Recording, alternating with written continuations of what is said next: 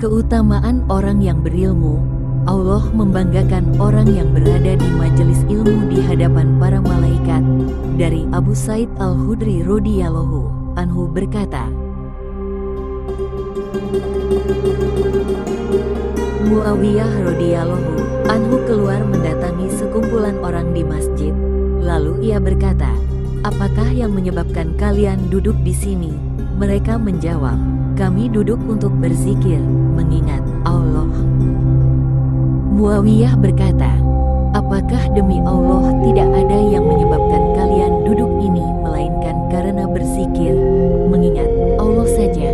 Mereka menjawab, Ya, tidak ada yang menyebabkan kami semua duduk ini, kecuali untuk itu. Muawiyah lalu berkata, Sebenarnya aku bukan ingin meminta sumpah dari kalian karena adanya kecurigaan terhadap kalian.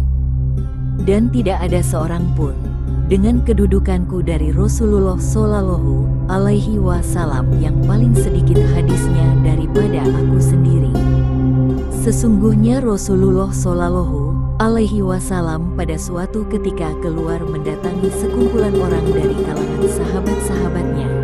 Lalu beliau bersabda, menyebabkan kalian duduk ini? Para sahabat menjawab, kami duduk untuk berzikir, mengingat Allah dan memujinya karena dia telah menunjukkan kami semua kepada Islam dan mengaruniakan kenikmatan Islam itu kepada kami. Beliau bersabda, apakah demi Allah tidak ada yang menyebabkan kalian duduk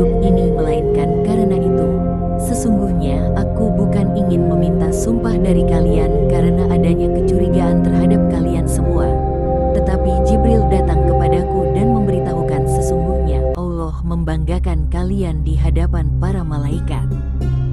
Hadis riwayat Muslim, hadis ini menunjukkan keutamaan ilmu secara mutlak, terutama lagi bagi orang-orang yang